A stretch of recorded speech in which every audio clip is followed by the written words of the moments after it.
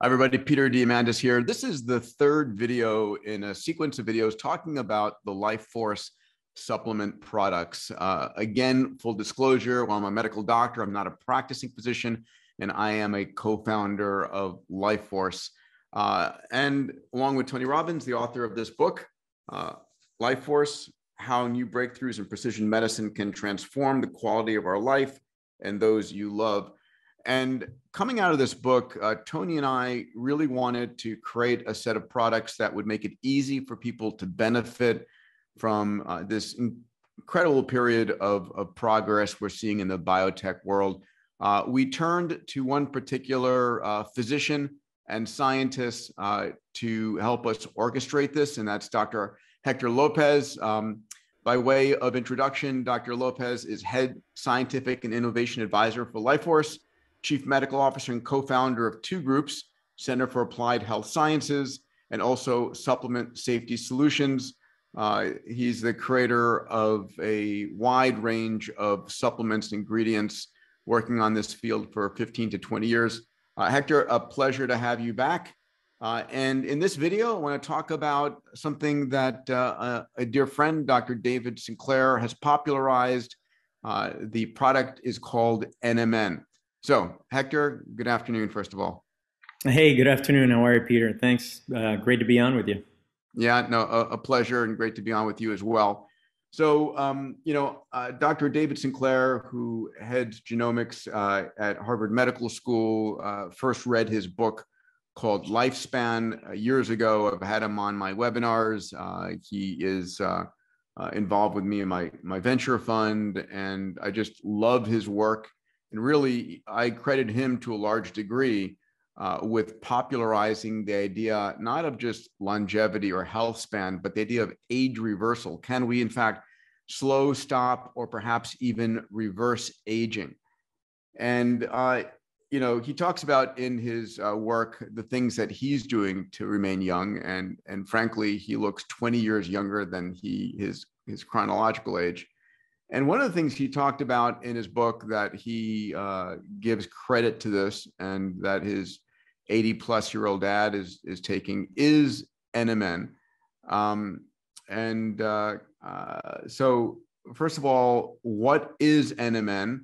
And then I want to talk about uh, some of the work that you and Tony and I did, which is where the heck do you go buy it? Because if you look on the web, there's like a hundred different versions of NMN uh, and what is the good stuff, what is the bad stuff, and why. So, what is NMN first of all? Yeah, so um, so Peak NMN was uh, a product that um, I felt we, we, wanted to go as as you can see is sort of a common motif with all of the LifeForce products. We tend to go above and beyond um, the, the, the call of duty in terms of um, you know the problem to solve, uh, the need states the features and benefits for consumers. So someone looking for NMN wanted to make sure that we're able to buttress NMN with some other unique molecules and compounds that um, could potentially amplify uh, NMN's ability to uh, uh, not only to increase NAD status, but even go beyond that and add some other features by targeting some other biochemical or molecular pathways that we know are associated with um, with health span as geroprotectors in other animal models, as well as in some very early preclinical work in humans. So first of all, I mean, it, NMN is an acronym standing for nicotinamide mononucleotide, right? So why is why is NMN uh, valuable uh, in the body in the first place?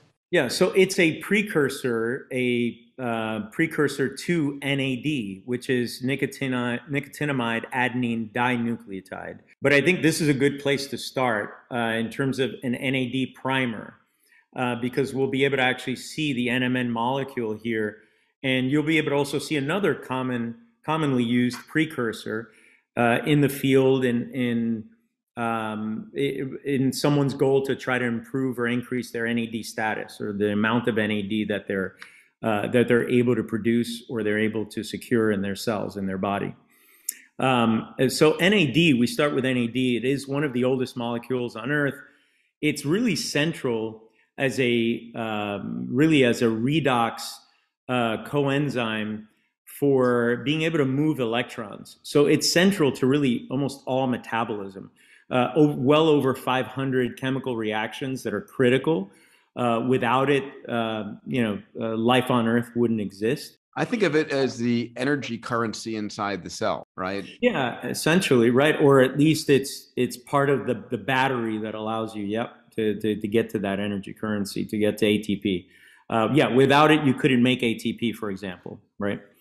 Um, so, uh, it, but it also has another important function: is that NAD is used as a substrate, so it's actually consumed so on the one hand, it's just used to pass along electrons in what we call oxidation reduction reactions, uh, like the electron transport chain, for example, in the mitochondria. You bring back high school memories of biology. yeah, yeah. So, um, and of course, that's critical to be able to convert uh, all the chemical energy and all that are stored in all the bonds of the food that we eat. Uh, you know, the proteins, the carbohydrates, and lipids and be able to get it all the way down through the, the Krebs cycle. And eventually, we have to take all of those electrons from all those bonds that we've broken from all the nutrients we've consumed.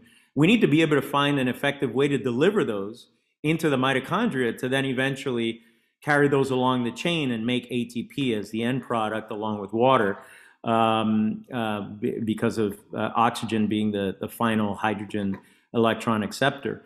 Um, but uh, NMN, you can see here, is this molecule. So it's nicotinamide, which is this portion of the molecule, right, is nicotinamide. Mm-hmm. Um, it, if you add a sugar to it called ribose, then you have NR, which is nicotinamide riboside. But you see the difference between NR and NMN?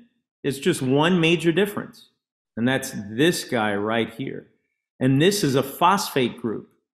So this is known in the biochemic in biochemistry in the biochemical world. This is known as a nucleoside. Mm-hmm. And once you add a nucleoside is a base, which is this nicotinamide component or moiety here. This is the sugar. Together, it's a nucleoside. When you add the phosphate to it, it now becomes very charged as a molecule, and it's now a nucleotide. And NMN is essentially one step away from becoming NAD, which is ultimately what everyone is after when we're trying to improve cellular NAD status. So you could say NMN is a step closer than NR to NAD. Now, there's a lot of controversy still that, to be honest, hasn't completely been worked out um, about whether you know can NMN be can be uh, uh, can can there be cellular uptake of NMN? There's some speculation of some transporters, some SLC transporters that have been identified in some experimental models, but it hasn't really been duplicated or replicated by other groups. So there's still controversy over whether it exists or not. Um, same thing with NR, to be honest. Um, and uh, the way I see it, the way me and my partners see it um, that are doing work in this area, is we're kind of agnostic a little bit to your choice of um, uh, NAD precursor, because you your precursors could be NMN, it could be NR, it could just be this base here, just the nicotinamide, which is which is found over here.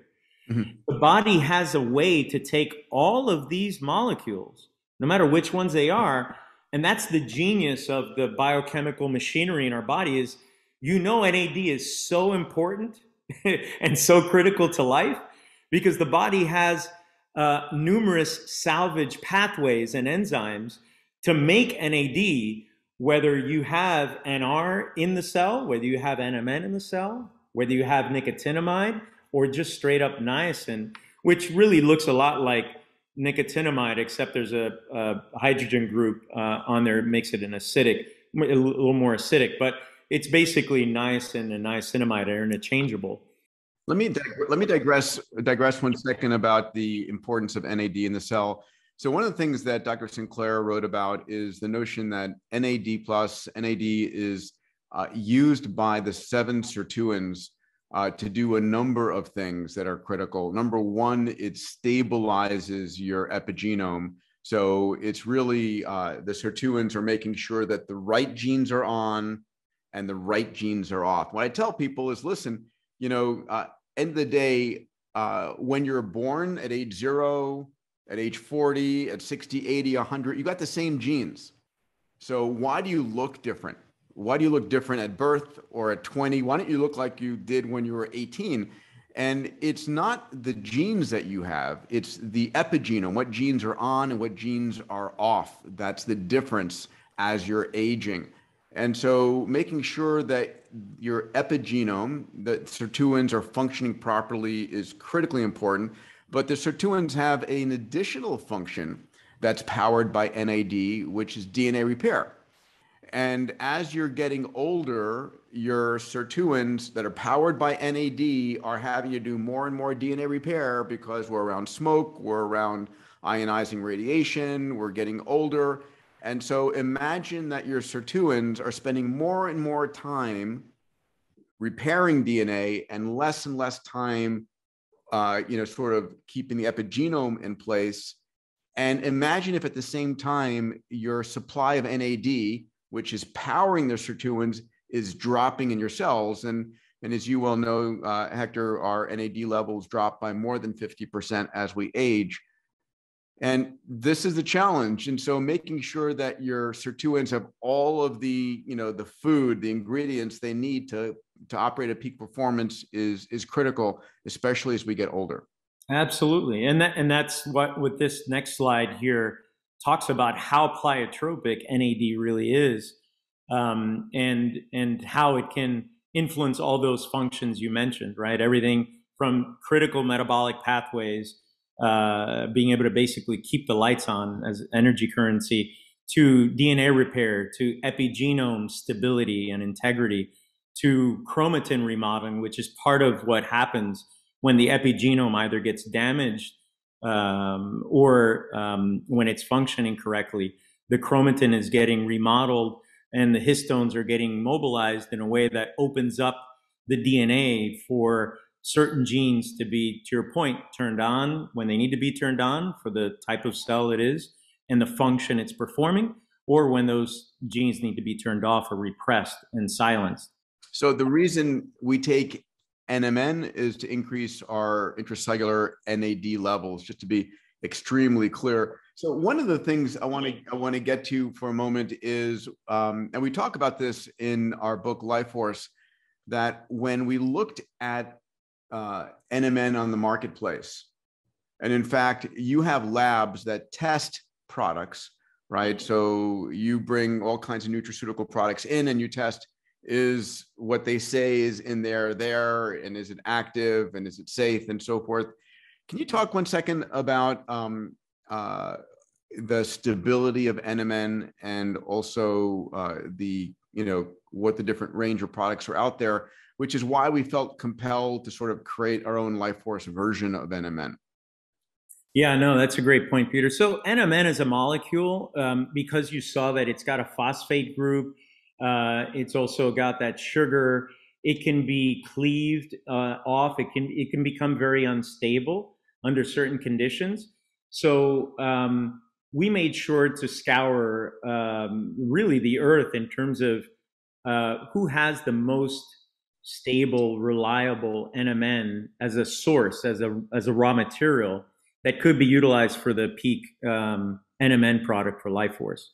And, and really what we found was a particular manufacturer that takes unique care at multiple crystallization steps to make sure that the pH is controlled, the temperature is controlled, and the moisture level is controlled. All three of those things, or any of those three things, can dramatically impact the degradation rate of NMN. And it's probably why so many products on the market uh, when they are tested independently through you know GC mass spec or HPLC mass spec, um, it's probably why so many fail uh, after very short periods of time of manufacture. The one that we utilize, for example, has um, third-party independently verified 24-month stability um, and that's at, uh, typical room temperatures, even a little beyond room temperature, um, and ambient uh, moisture as long as it's maintained within the bottle. So uh, that that's very impressive and uh, certainly bodes well for us having at least if you want reliable NMN that you know is going to test out every time batch to batch. That that was important for us. Thank you for that. Yeah. So some of the challenges, right, with using any of these precursors, we talked about it already. The the stability, uh, reliability, but also the uh, the oral bioavailability, potentially because of the size and the polarity of the molecule. Um, the fact that it, it, may burden your methylation status a little bit. Uh, we do know that methyl groups are pulled and utilized in order for the body to handle what comes after uh, NAD, after NAD is consumed and used by either sirtuins or some of those DNA repair uh, PARP enzymes that you talked about before. Um, uh, and then there's this other issue of dealing both offense and defensively to make sure that you can improve NAD status, right? So we want to play on both sides of the ball, if you will. Um, offensively, we know that's the easy thing to do is provide more precursor, but also uh, what we did is in combining Peak NMN with Peak HealthSpan, the other LifeForce product, uh, what we're doing is increasing the enzymes that allow you to go from the raw material precursor of NMN or even niacin or niacinamide that you might have in your background diet and make sure that you can make more of the end product, more NAD. That's on the offensive side of the ball. On the defensive side of the ball, we wanted to use ingredients that could potentially modulate or limit the, con- the overconsumption and depletion of NAD by some of these enzymes that are found on the outside, usually of white blood cells. So whenever there's a lot of inflammation, systemic inflammation, when there's you know metabolic damage or metabolic um, uh, sort of uh, syndrome, uh, these enzymes uh, tend to get upregulated and they overconsume NAD. Uh, one of these is called CD38. Sure, sure. Uh, so here's a, a, a, you know a nice sort of metabolic map, if you will, uh, of the pathways of how what the body does to to make NAD here in the center. Um, so you can see that there's this classic uh, sort of Preiss-Handler uh, pathway where you can consume nicotinic acid or niacin. That's the flushing niacin that you can also supplement with, or can be found in the diet. Um, that actually gets consumed and gets converted into uh, nicotinic acid mononucleotide. It's a similar version to NMN, but not quite NMN. Uh, and then it gets transformed into another secondary metabolite. And then finally, so you're talking about three enzymatic steps away from getting to NAD. Whereas if you consume NMN, this is what I, I think, you know, in talking to uh, Dr. Sinclair and David um, and, and, and hearing and seeing his, uh, his rationale, this is what he says, look, you're, you're only one step away, right? You only need to have this one enzyme act on NMN to get to your NAD end product. Um, and, and so this rationale is, it, it's sound. Um, the, the potential challenge there is that it's possible that the body and the, even the microbiome in the gut modifies this NMN and you kind of get back up here or back up here or you get here to nicotinamide um, to nicotinamide. Either way, the, the nice thing about using NMN is you're going to find your way. You know, all roads lead to Rome. You're going to find your way to NAD, right? Which is what we want. So we're going to still play offense regardless with NMN. I, I am I am curious. Uh, how much of this is on faith, and how much are we actually measuring intracellular increases in NAD levels? right? I mean, the old adage around, uh, you know, you pee away most of your supplements. Um, any thoughts here or where the science is? Yeah, well, what's great about this is we have human clinical data. Now we're up to seven. There's seven human clinical trials that have been published already in the public domain on NMN supplementation in humans. Um, what they, in summary, what all of them have basically told us is you can reliably increase the amount of blood, whole blood NAD levels, so the amount of NAD you can measure in your blood in humans, and that's coming mostly from white blood cells in the blood. Um, you can increase it by 150 to 300 percent, mm-hmm. so one and a half to threefold. Yeah, uh, just by using 250 to 500 milligrams a day of of NMN. Um, yeah, and and what's nice is that's corroborated by other like almost uh, 15 to 20 studies by NR as well. So we know you can do it. And if you look back into the literature, of course, a lot of the um, you know NR manufacturers, et cetera, don't necessarily like that. But if you look at niacin and niacinamide in in human models of mitochondrial myopathy, you can increase the amount of NAD in muscle not just in blood, but in muscle of those uh, patients with mitochondrial myopathy that are starting off with very low levels in muscle because of um, uh, genetic disorders, they can actually end up increasing the amount of muscle levels by 500% with just a dose of 500 milligrams a day. Mm-hmm. Uh, let's talk about playing offense and defense. This is not just an NMN product. Um, uh, those are available on the web, but you've added a couple of other components here, uh, which I was fascinated as to why. Uh, yeah, take it away. Yeah, so here we have the supplement facts panel as just a quick reference guide on the right. So we um, we did add berberine. Um, we added berberine because look, berberine works through a very similar mechanism of action as metformin.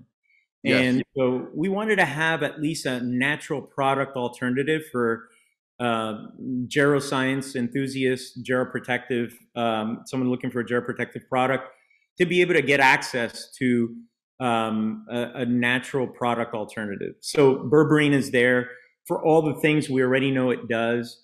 Uh, but even if you're not, even if you're still unsure about the longevity benefits, because ITPs failed to find uh, median or maximal lifespan extension, I believe, but there have been some other studies published where there have been life lifespan extensions in animal uh, longevity and lifespan increases with berberine. Uh, I'm sorry, with metformin. What we know is berberine has human clinical data that even at these doses, at the dose we include here, you can improve glycemic control. So you can improve how your body handles carbohydrates when you do consume them uh, and insulin sensitivity at both the liver and the muscle, which are very important. Um, so we have berberine here for that reason.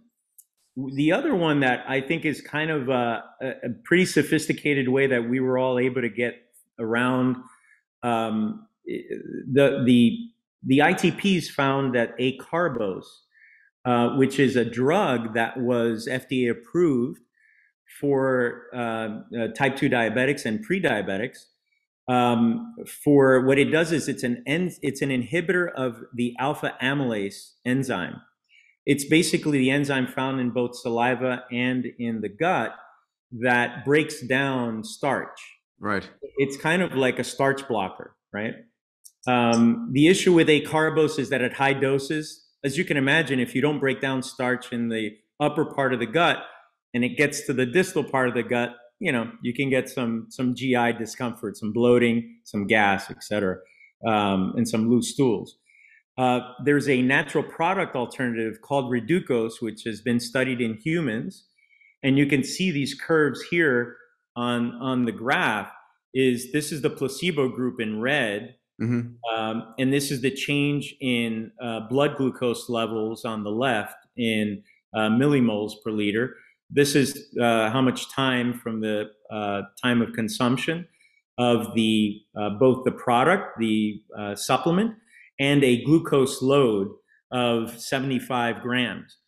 And this is also the change in insulin on the right.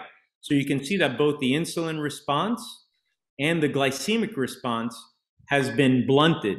So the, you're blunting the excursion, that big spike in both insulin and glucose, which is part of the reason that the researchers speculate acarbose was able to expand the lifespan by up to 22% in uh, male mice and about 5% in female mice, um, which is not uncommon to get uh, differences in males and, and females um, in median lifespan. Uh, part of it is being able to keep that glycemic excursion in a very tight, narrow range. So we're able to essentially um, mimic that using this natural product alternative. It's an extract from white mulberry leaves uh, called Reducose. So we have that in there. The other ingredient that we are able to sneak into the, you know, sort of uh, the NMN. I was surprised to find this ingredient there. And, you know, spermidine has gotten a incredible revival as a pro longevity uh, molecule here. So it was like, yes, okay, I'm super excited that's there.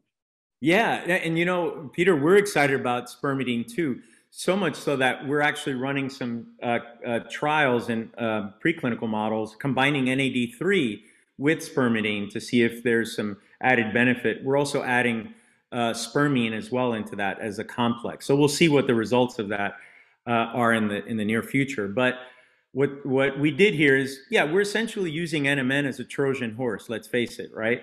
Um, and we're able to sneak in some spermidine in here as well Spermidine is uh, one of those polyamines.